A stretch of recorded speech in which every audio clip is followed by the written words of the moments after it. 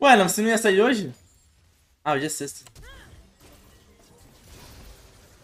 Ao ataque.